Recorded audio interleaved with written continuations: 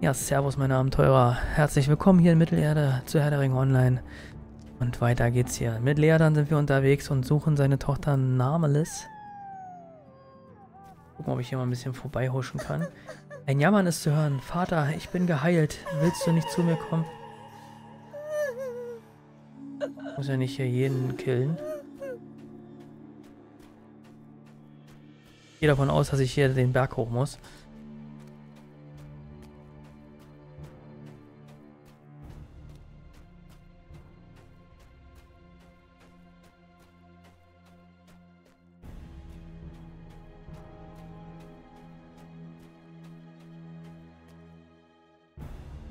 Wollt ihr eigentlich hin?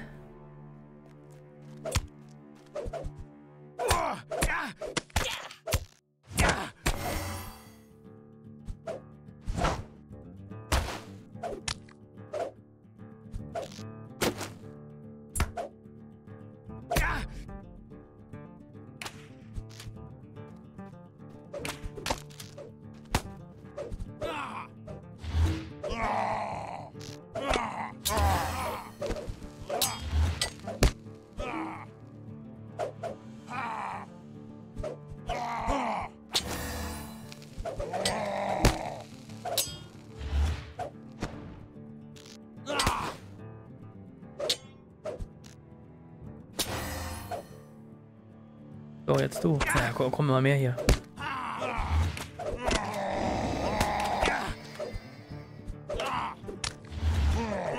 Das dauert aber lange.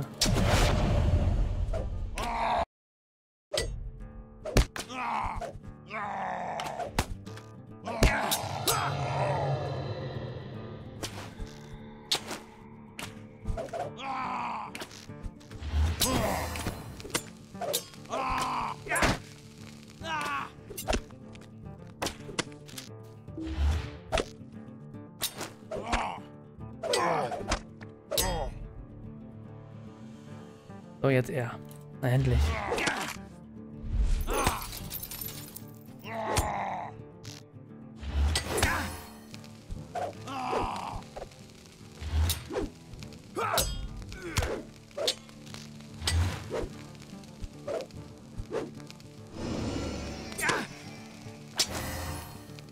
Okay. So, er geht weiter.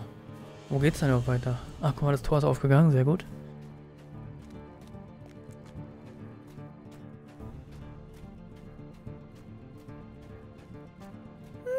Eine Stimme jammert. Vater, ich habe Angst.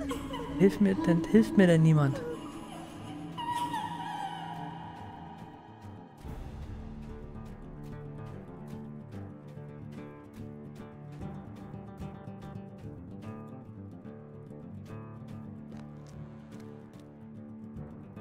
Kasi. Wo bist du, Vater? Warum kommst du nicht? Willkommen, Vater. Oha.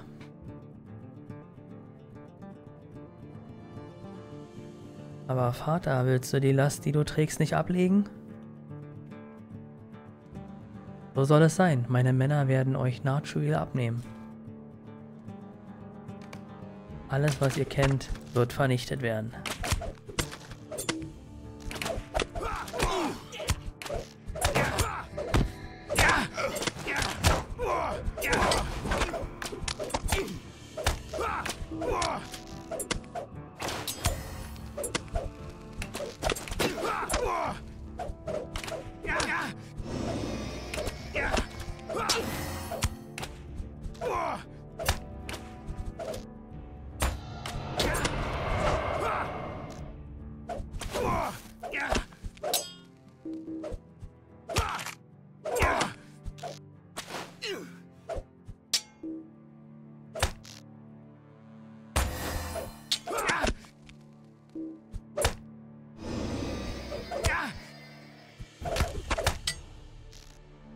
Dauert so lange. Ein Movement das ist so richtig schlecht.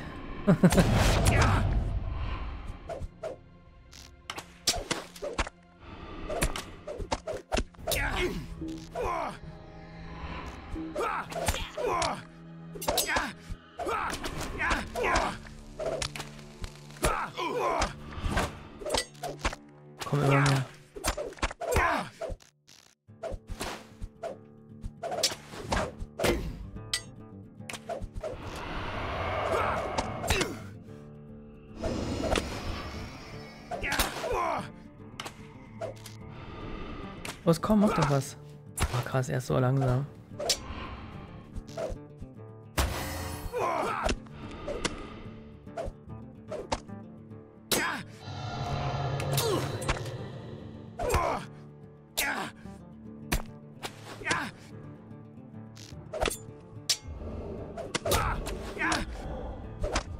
Und die werden einfach nicht weniger. Jetzt. Gott sei Dank. Was ist passiert? Es ist dunkel und sie kämpfen weiter mit mir. Was soll ich tun?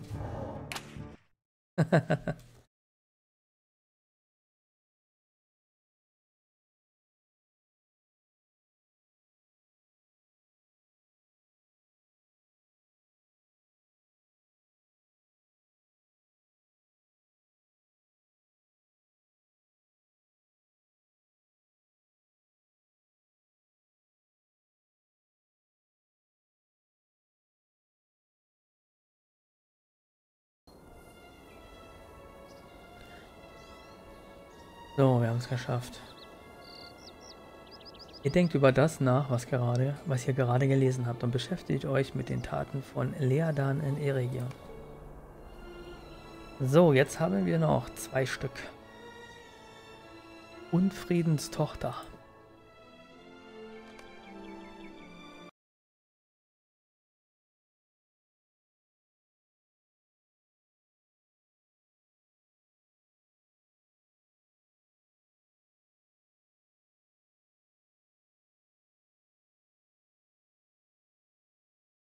Vor langer, langer Zeit kam der dunkle Herrscher unerkannt nach Eregion.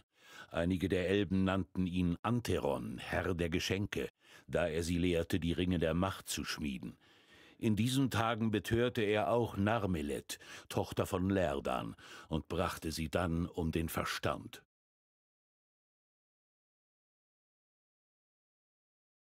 Beeilung, ich muss euch etwas Wunderbares zeigen.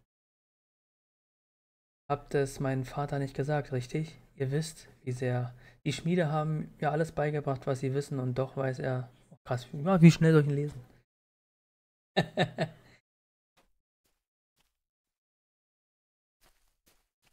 Habt keine Angst. Orks, kommt. Testen wir unsere Stärke. Hey, gleich Attacke. Seht ihr? Kein Oro kann etwas gegen die Macht der Noldor ausrichten.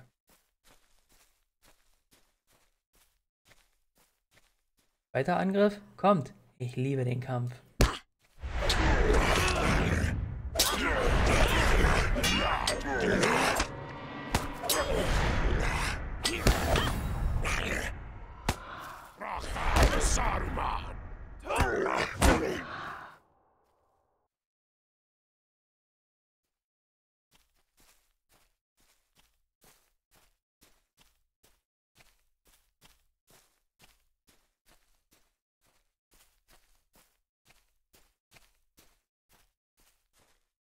Muss wachsam sein. Wer weiß, wie viele Orks noch kommen werden.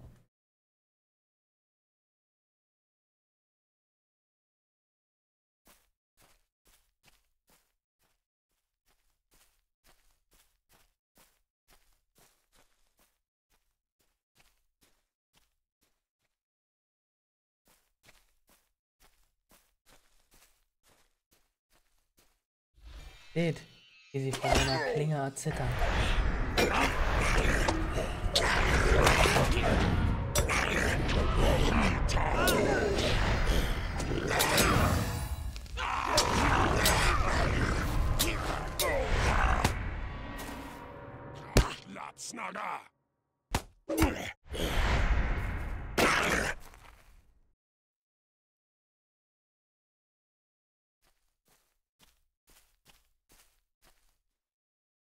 Geht es euch gut? Ich habe euch im Schlachtgetümmel aus den Augen verloren. Kommt, es ist nicht mehr weit.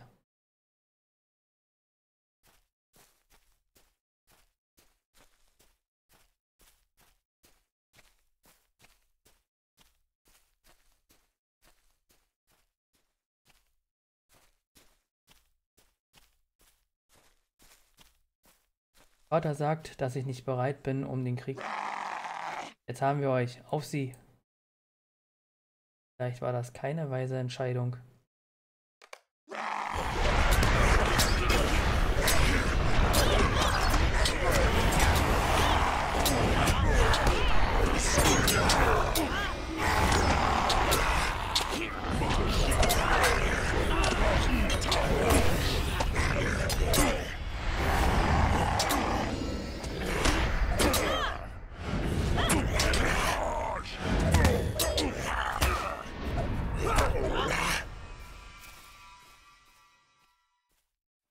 Ameles, soll diese Narretei.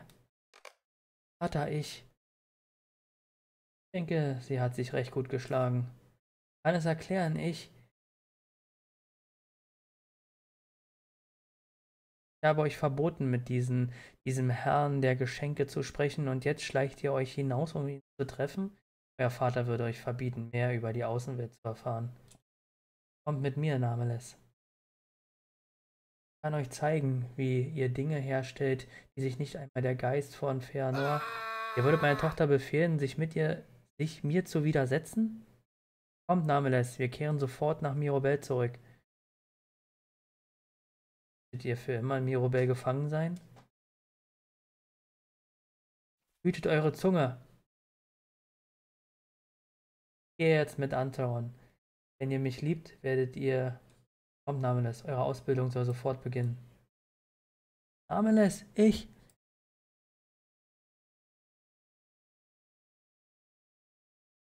Oh. Was ist der Geschenk?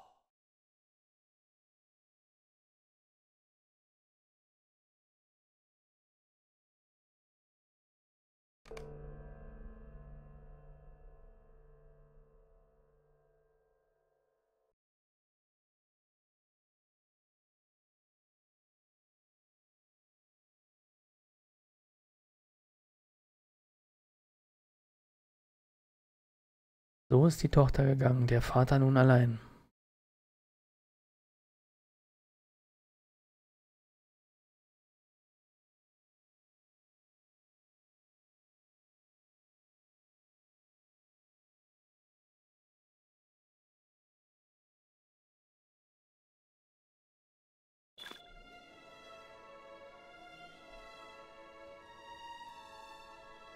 Ihr denkt über das nach, was ihr gerade gelesen habt und beschäftigt euch mit der Geschichte von Nameless Untergang. Und damit kommen wir zu Ende, zum Ende dieser Folge. Ich hoffe, sie hat euch gefallen. Dann würde ich mich natürlich sehr über ein Like freuen und wenn ihr noch euer Abo da lasst. Und dann sehen wir uns beim nächsten Mal. Bis dann und tschüss.